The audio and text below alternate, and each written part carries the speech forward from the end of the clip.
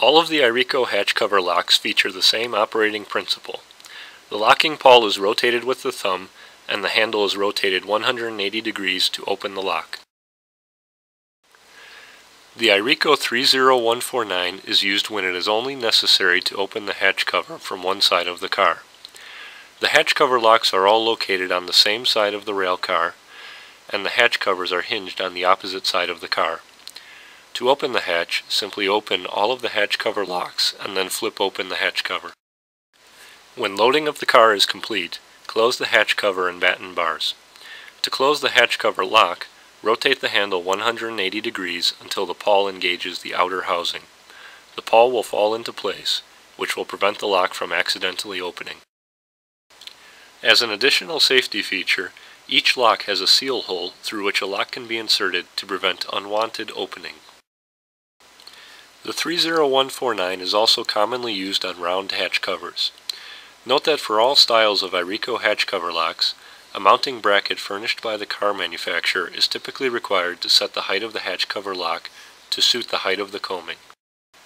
The 30149 is available in a mild steel with black phosphate version, an all stainless steel version, and a corrosion resistant version. The IRECO 30169 is a hatch cover lock that also functions as a hinge. This offers the flexibility to open the hatch cover from either side of the car. Once all of the locks on one side of the car are opened, the hatch cover will be hinged about the closed hatch cover locks on the opposite side of the car. For the 30169 to function properly, the hatch cover hold down requires a special hinge pin to be welded to it.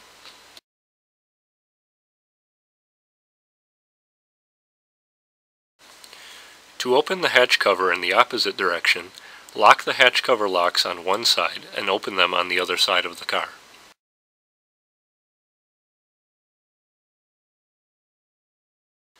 The 30169 is available in a mild steel version with a black phosphate finish.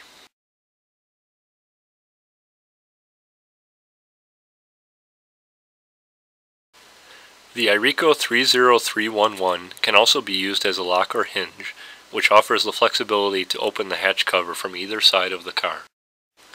The 30311 incorporates a spring-loaded retainer hook, which helps to retain the cover if the hatch cover locks are accidentally left open.